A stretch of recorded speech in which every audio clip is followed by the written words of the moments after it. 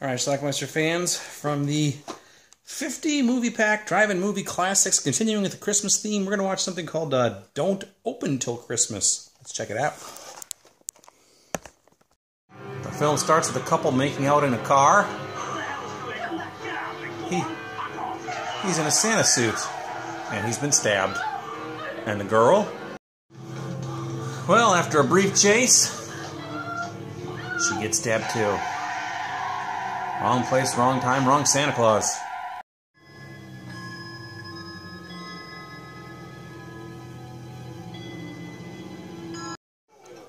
Now here's another Santa Claus.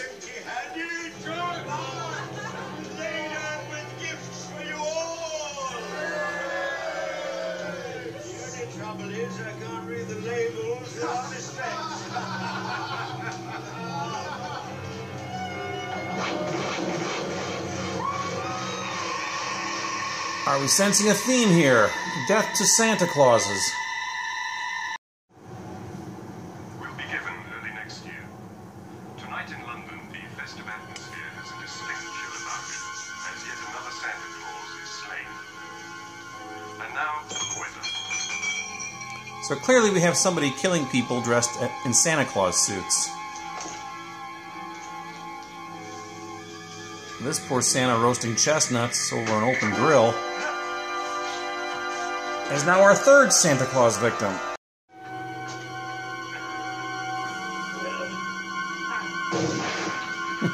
Make it four. You'd think people would stop going out dressed as Santa by now. Oh, blimey, by the look of that, you need to, eh? Jerry! Hey, where'd you spring from? Well, you know me, mate, ducking and weaving, ducking and weaving. aye, aye. Who's the, uh...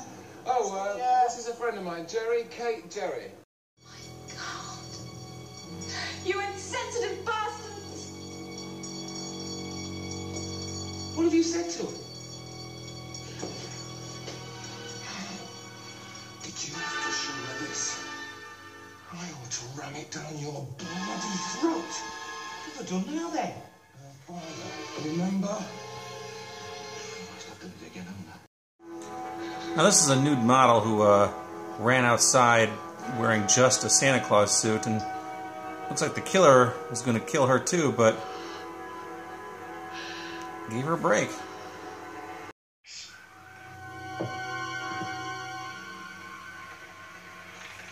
you want to see any more, cost you another five. This is a Santa in one of those uh, sex booths. There's a guy named Giles.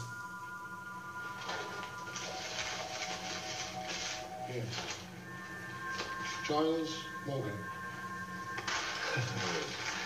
if you're Sergeant McVeigh, show me up. Giles allegedly has some information about the murders. Meanwhile, we have another Santa roaming the streets. Now, there are some undercover cops as Santa. I believe this is one of them. I think this is another one, although it's very, very dark here.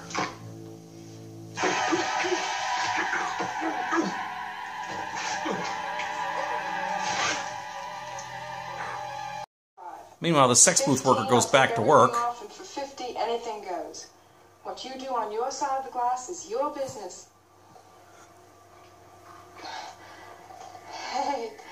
What's with you? But she recognizes him from the other night.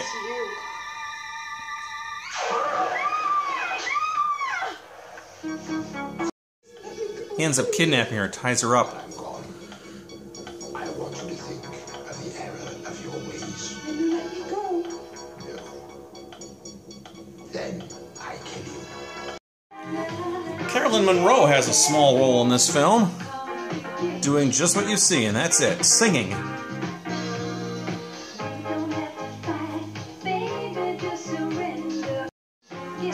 Now, you briefly saw that Santa roaming around backstage. Well, somebody got to that Santa.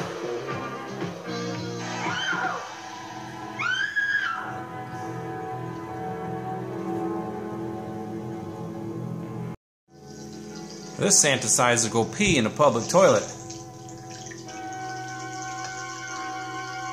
Oh, Lord.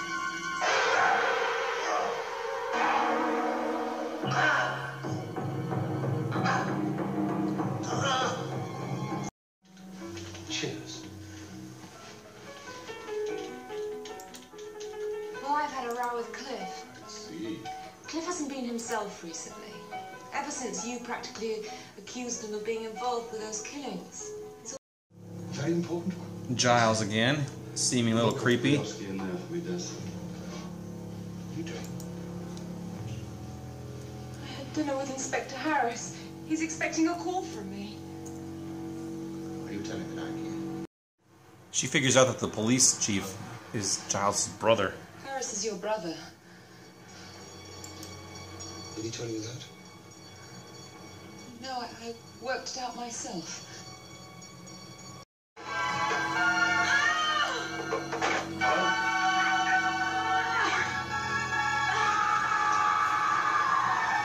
Brutal.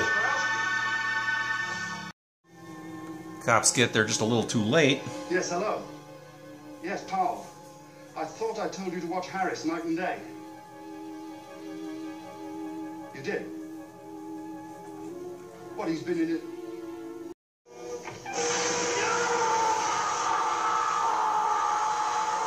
This guy's not even a Santa Claus.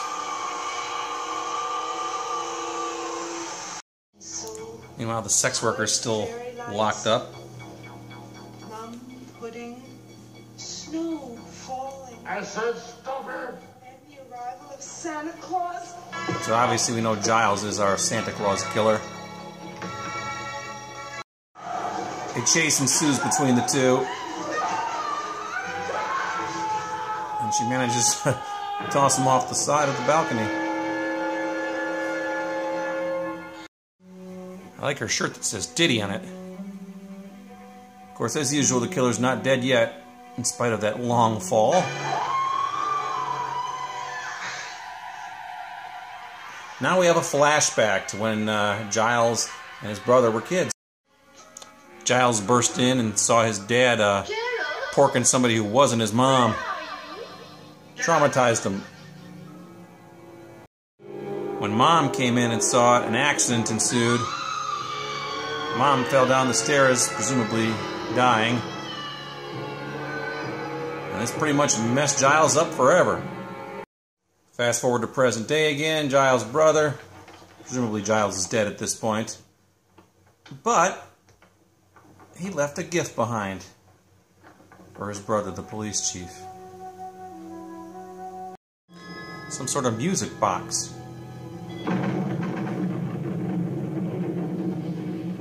and that's our movie. All right, let's talk about the movie Don't Open Till Christmas, which is a, a public domain movie, I believe. It's available on several different compilations and things. I have it on this 50 movie pack, Drive-In Movie Classics. Um, I entered, I rented this movie when I was a kid in the 80s. I rented it from a place called Denny's Video in Manitowoc, Wisconsin. Years later, I didn't watch it at the time. I rented it and copied it, but um, years later, I retaped it. Uh, 1997, I think, is when I saw it, and I actually watched it that time. The only thing I remembered is that line which I showed you with the British guy saying "duckin' and weaving, duckin' and weaving." For whatever reason, that line has stuck with me forever. I don't know why, but I still use it to this day for no reason whatsoever. And there you go. So anyway, this movie here, it's a Christmas movie, kind of.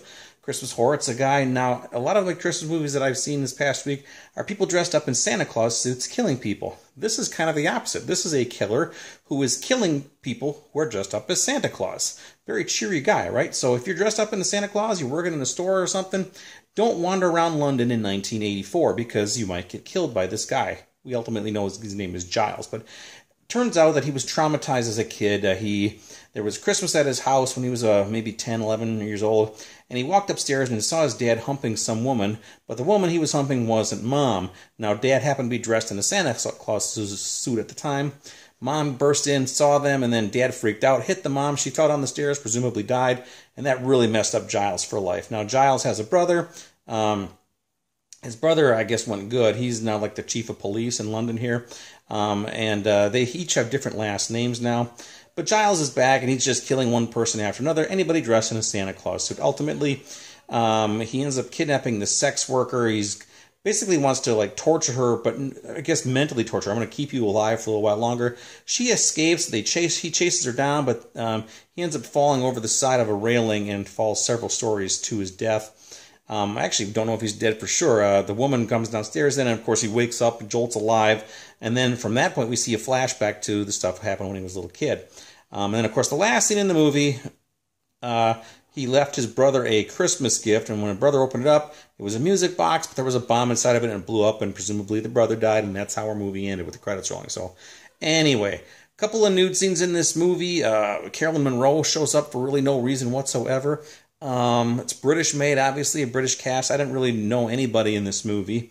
Edmund Purdom, I think, is the star of this movie, and um, the name sounds familiar, but I couldn't tell you anything else he did, but I'm sure other people know what he did.